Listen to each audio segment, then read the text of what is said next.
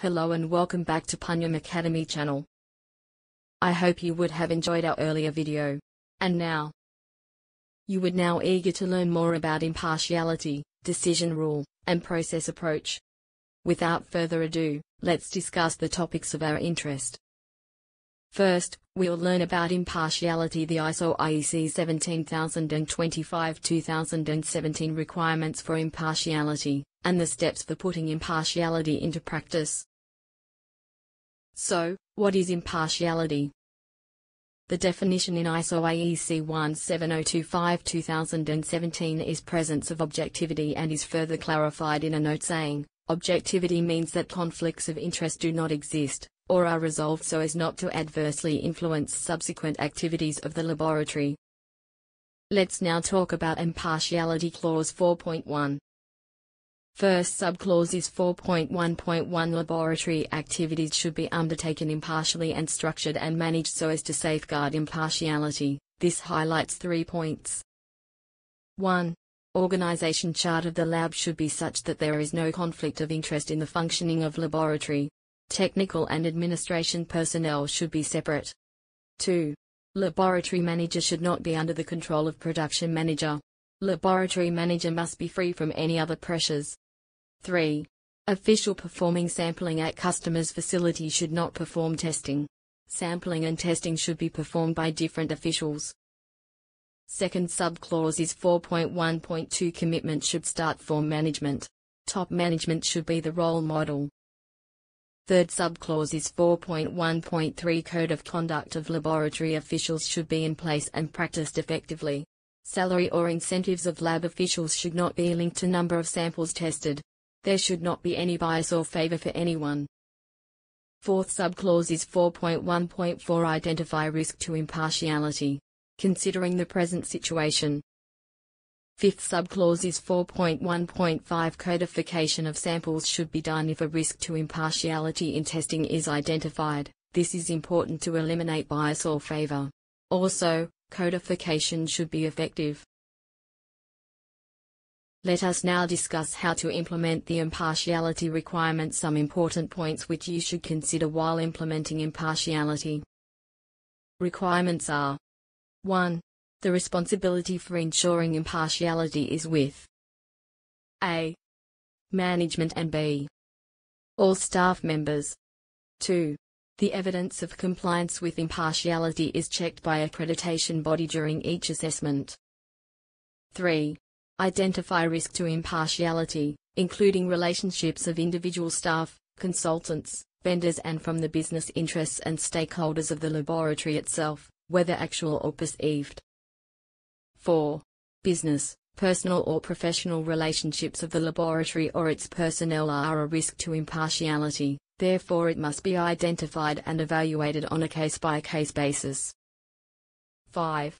Laboratories accredited under ISO IEC 17025-2017 are required to have a mechanism for safeguarding impartiality, such as an impartiality committee. So, Knowing these points will help you to put the impartiality requirements into practice. Now let's discuss actions that you need to take to put impartiality into practice. I've jotted down some points, let's go over them one by one. 1. Regularly organize and document management reviews to address the threats to impartiality. 2. Define and have written policies and procedures to minimize threats to impartiality. Identify risk to impartiality as an ongoing basis from A. Lab activities B. Relationships of the lab C. Relationships of its personnel 3. Establish an organizational structure that defines the lines of authority and the relationship. Do not allow commercial, financial and other pressures which compromise impartiality. 4. Have documented training and agreement of staff, including the top management, on potential threats to impartiality, and also have approved policies and procedures intended to minimize these threats. 5. Establish effective firewalls over certain functions between the management of your accredited services for example mixed design of concrete is done by consultancy division and test report of the same mixed design generated by laboratories approved by same person. Friends, I have tried to cover all the important points in an objective manner. I hope the term impartiality is clear to you. Let's move on to the next topic, decision rule. Decision rule is a statement of rules explaining how measurement uncertainty is used when performing conformity assessment. Conformity assessment is an activity to determine conformance to specifications using the decision rule. This is where we determine a pass off or fail decision. So, before you know about decision rule, should know about statements of conformity or conformance. A statement of conformance is an expression that describes the conformance or non-conformance of an item to a specification or standard. Examples of statements of conformity are pass or fail, in tolerance or out of tolerance, or in specification or out of specification. Now that you are aware of what statements of conformity are, here are some things points to keep in mind. 1. Laboratories often make statements on conformity of the results with certain specifications. In the case of test laboratory, this is done based on customer's request against the defined documented specification. For calibration laboratory, the instrument is required to pass or fail against the defined specification or class of instrument after its calibration. 2. Clear decision rules are to be communicated, documented and to be applied. 3. When reported information associated with a calibration does not include measurement results and measurement uncertainty, addition of a statement is required.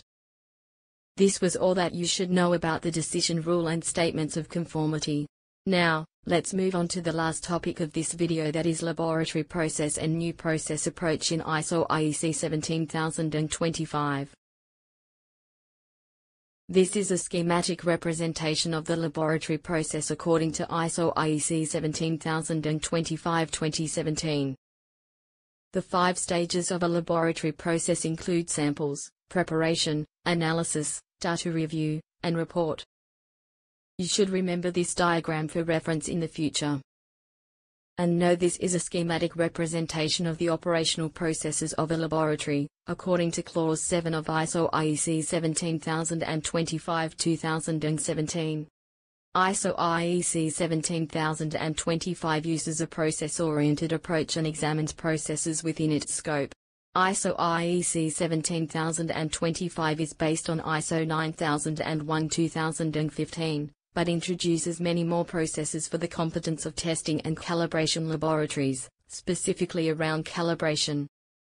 This standard focuses highly around every aspect of performing calibration, along with the processes required for ISO 17025, similar to ISO 9001. One of the main processes it examines is the entire quality management implementing the overall process can be looked at as a large single process, but within the implementation there are many small processes. You can use this diagram for reference in the future. So that's everything for today's video, I hope you understood what I said in the video. Thank you so much for watching this video on the overview of impartiality, decision rule, and process approach. If you want to learn more about ISO IEC 17025 we have a lot of courses available on our website. To learn more about the ISO IEC 17025 course, click the link below. Subscribe to our channel for more educational content.